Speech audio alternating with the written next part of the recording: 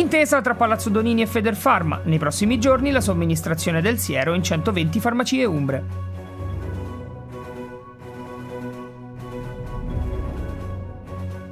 Rare le prenotazioni negli hotel aperti solo al 50%, la nostra intervista al presidente di Federalberghi Umbria. Riparte il settore della cosmesi, che ha subito forti perdite. Lezioni di make-up a Bastia Umbra.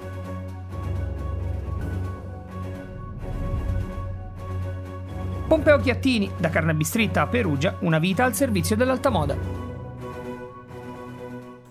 Buonasera e benvenuti a questa nuova edizione del telegiornale della Scuola di Giornalismo di Perugia. In studio Alessandro Ferri.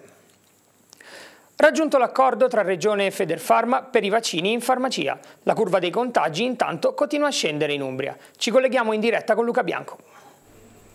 Sono 99 i casi di coronavirus registrati in Umbria, in deciso calo rispetto ai 131 di ieri. Anche il rapporto tra tamponi e positivi è in discesa, ormai intorno all'1,4%. Si registra un decesso e i ricoveri in ospedale scendono a 162, mentre le terapie intensive si mantengono stabili a 22. È stata raggiunta intanto la quota di 334.000 vaccini somministrati in Umbria. Secondo l'assessore regionale alla sanità Luca Coletto, la campagna è destinata ad accelerare grazie all'accordo raggiunto tra Federfarma e Palazzo Donini. Nei prossimi giorni in 120 farmacie delle province di Perugia e Terni potrà essere somministrato il vaccino. La diffusione capillare delle farmacie, ha detto l'assessore, sarà fondamentale per aumentare la tempestività della campagna in corso e notizie incoraggianti arrivano dal mondo della scuola.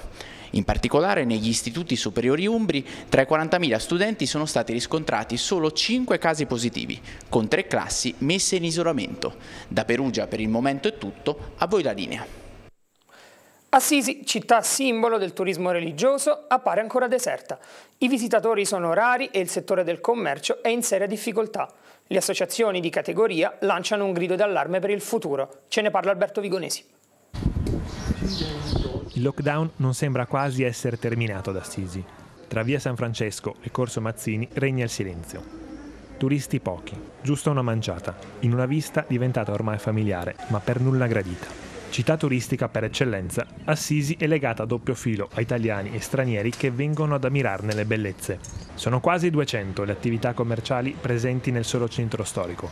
Molte sono in grande difficoltà, tra affitti, utenze e tasse arretrate da pagare. La luce in fondo al tunnel non si vede, neppure ora in zona gialla. Una pandemia non la potevamo prevedere, siamo completamente azzerati, abbiamo, non abbiamo più, mi piace dire spesso, delle attività, abbiamo delle passività. Le nostre aziende aziende continuano a maturare debito senza un'attenzione particolare. 12 le manifestazioni negli ultimi mesi per sollevare il problema.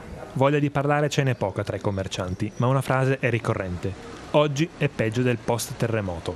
Ci chiamate, li chiamate negozietti, questo non ha una valenza negativa, non è un commercio di serie B, sono aziende sane che hanno assolutamente bisogno di essere traghettate al di là di questo guado. Un anno fermi, dimenticati, senza indennizi, per questi piccoli negozi a gestione familiare, che svolgono anche un ruolo di sentinella del territorio. Quando chiuderanno le nostre luci, non si sa se riapriranno e le nostre città d'arte non saranno più le stesse.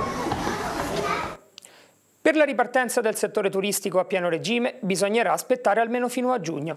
Questa è la previsione del presidente di Federalberghi Umbria, Simone Fittuccia. L'intervista di Francesco Ferasin. Dopo tanti mesi che siamo fermi e siamo chiusi si è addirittura incrostato. Mesi di zone rosse, chiusure hanno inaridito tutto, prenotazioni, flusso di turisti e addirittura il gel per le mani che gli alberghi avevano preparato nelle olle in attesa di poter riaprire. Con il ritorno della zona gialla in Umbria dal 26 aprile, qualcuno ha prenotato una stanza per fare un weekend fuori città.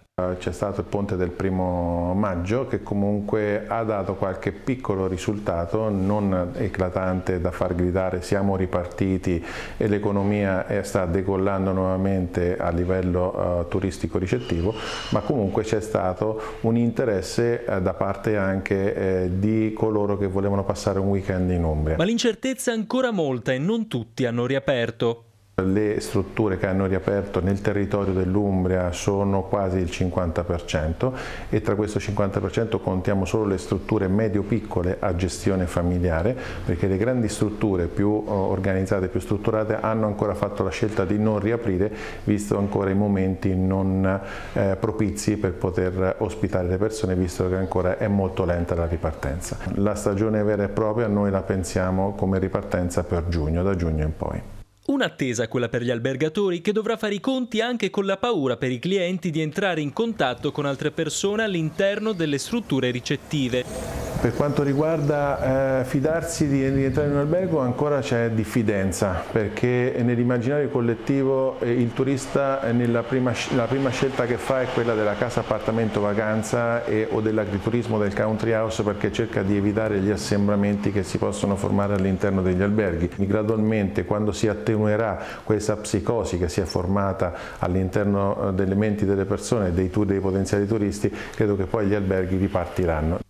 Il ritorno alla normalità è tutto quello in cui sperano gli albergatori. Spero che con la riapertura, con le regioni che ci si possa muovere, si riprenda perché abbiamo proprio bisogno di lavorare e di riprendere una vita normale.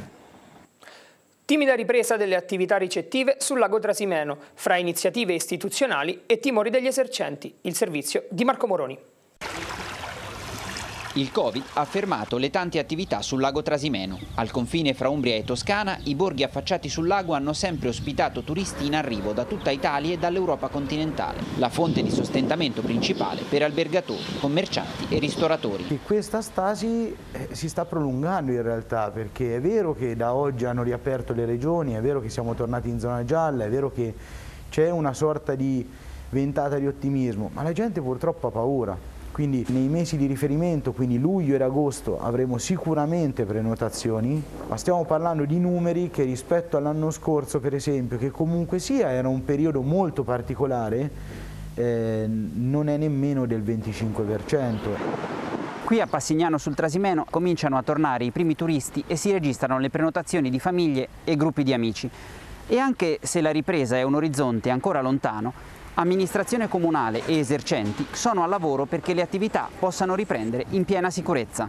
Ma la chiusura della strada principale del lungolago a noi ha permesso di far uscire i ristoranti che hanno poco spazio con i tavoli sulla strada, quindi permetterà di vivere in sicurezza il lungolago e di farlo diventare appetibile ai più, dalle famiglie al turista sia occasionale che quello con eh, scadenza e permanenza più lunga.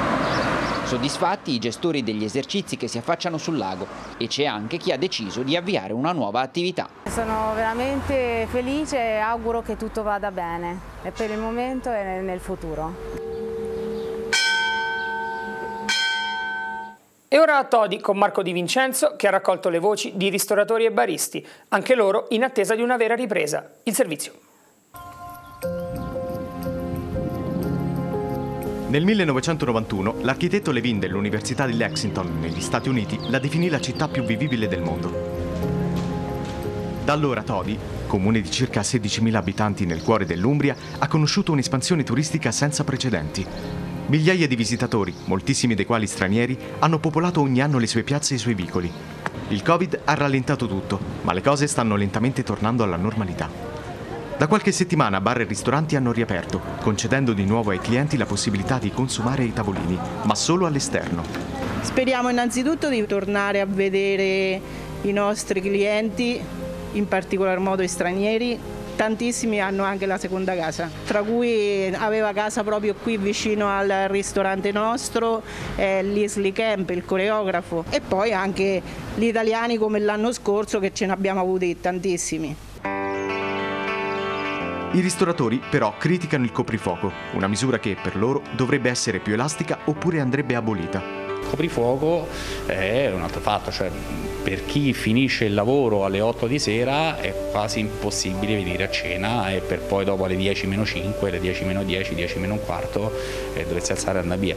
Si perde anche quella rilassatezza, diciamo, eh, convivialità del, del mangiare. E iniziano a tornare anche i turisti stranieri.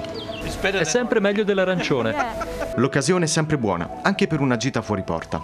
Veniamo da Cortona, Toscana, ne abbiamo approfittato per pranzare fuori ora che si può fare, penso che sono mesi, mesi, non ci ricordavamo neanche più come si facesse.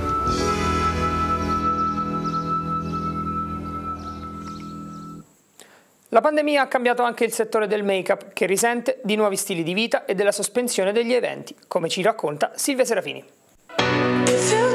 Secondo uno studio di Intesa San Paolo, il fatturato del comparto make-up nel 2020 ha subito una riduzione del 12,8%. Anche in Umbria l'effetto Covid ha pesato sulle aziende del settore. Tra queste c'è la Artex di Todi, un piccolo laboratorio che fornisce linee di trucchi a make-up artist di tutta Italia. Il fatto delle chiusure, specialmente dei centri, centri estetici, spa e così via, logicamente ne ha risentito tutta la catena. Un comparto, quello del trucco, che deve fare i conti con la diffusione dell'uso della mascherina. Determinati prodotti non si utilizzano con il fatto della mascherina se noi consideriamo rossetti, pard, fondotinta, logicamente hanno avuto un calo drastico. Importante è l'impatto del Covid anche sul mondo del trucco professionale. Ci sono tanti settori dentro al mio settore. Diciamo che uno dei settori che è praticamente morto è il matrimonio, perché non ci sono più matrimoni, perciò chi trucca soltanto a matrimonio ha sofferto tanto. Io invece ho lavorato in tanti settori, faccio la trucco per la televisione, per la fotografia, per le spose e insegno. Alla scuola di make-up ed estetica di Bastia Umbra, dove Noala tiene il corso di trucco professionale, oggi ricominciano le lezioni in presenza, dopo oltre due mesi di stop, durante i quali si sono svolte lezioni via web. Ti ricordi che prima io facevo così con corridori? Un settore che invece è in crescita è quello dei corsi di autotrucco, complice lo smart working che spinge le donne a guardarsi con la webcam. Dovendo lavorare da casa, dovendo guardarsi allo specchio, dovendo stare a casa tanto, le donne hanno iniziato a guardarsi di più. E lì hanno iniziato a dire, mm, vedi che magari posso migliorare le sopracciglia, truccarmi di più, che magari una quando andava in ufficio non stava guardando allo specchio, no? Perciò questo è cresciuto. Il Covid ha messo in crisi botteghe che in Umbria vantano una tradizione storica. Gli artigiani di Perugia però studiano nuove strategie per ripartire. Il servizio di Maria Francesca Stabile.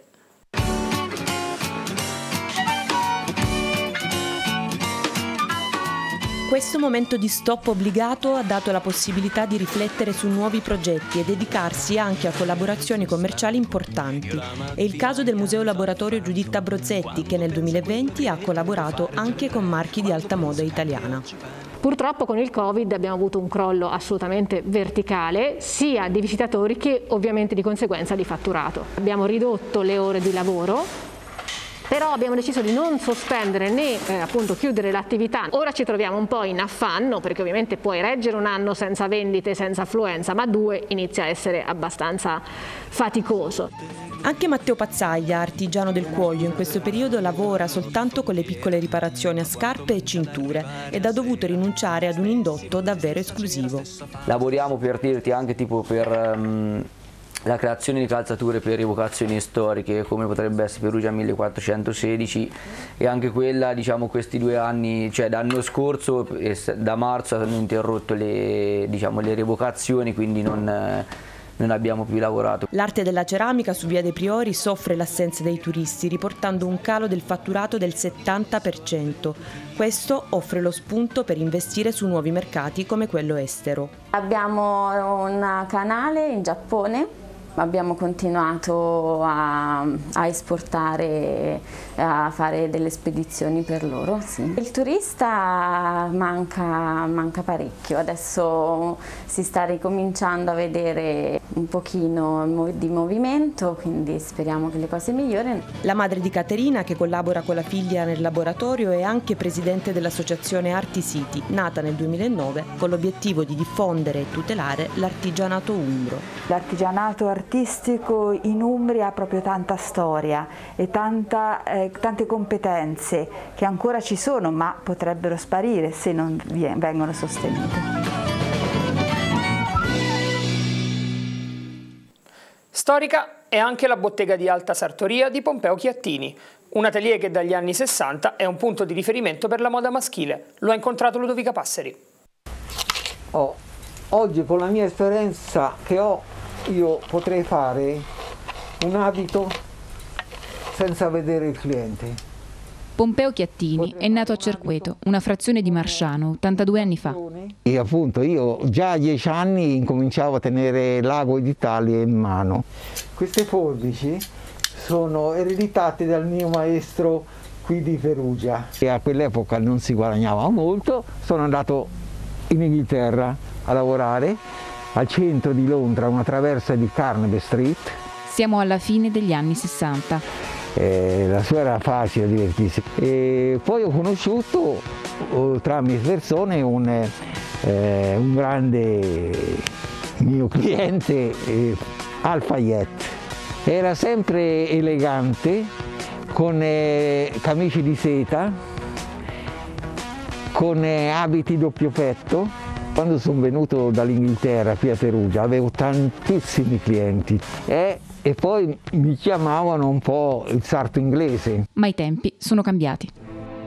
Purtroppo è stato un po' dimenticato l'artigianato in genere, ma se parliamo della sartoria eh, si può dire quasi niente è stato fatto. E allora è nato in me questo abbandono. È venuto fuori che mi sono un po' lasciato andare e questo mi fa dispiacere. Nel suo laboratorio a Perugia, un museo di ricordi e creatività, Pompeo continua, nonostante tutto, a coltivare l'amore per il suo lavoro. Sì, ho fatto delle tasche con dei polsini di una camicia che doveva essere fatta da manica corta. La creatività è un qualcosa che viene fuori da se stessi che generalmente la gente non conosce.